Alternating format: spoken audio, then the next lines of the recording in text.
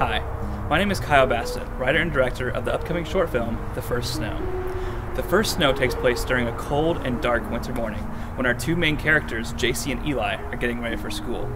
When the TV news alerts them of a coming snowstorm, they get excited for a snow day, but little do they know, something much more sinister is in the forecast. The script takes great inspiration from the classic children's series Goosebumps, with its dark yet fun horror stories, while also taking from some of my favorite horror films such as The Babadook, It Comes at Night, and Hereditary.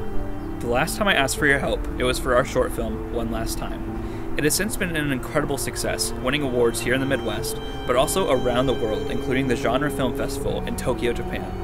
It is now exclusively streaming on Amazon Prime Video, where it has received over 50,000 minutes watched, and that's all thanks to you and your funding of the project. For this project, however, we don't have the amazing help of Full Sail University like for one last time, so we'll have to ask for a bit more to produce this on our own. Our goal for the project is to raise $3,000 to pay for COVID precautions, camera rentals, lighting, special effects makeup, locations, and more. We want to make it look just as good, if not better than one last time, so please donate anything you can to support us. But also remember a share of this on any of your social media accounts is absolutely free and helps us so much. We know that these are challenging times, so any donation to the film or even a share of this GoFundMe on social media goes a long way in helping our production. Thank you for making our dreams come true with being able to tell this fun, scary, and important story.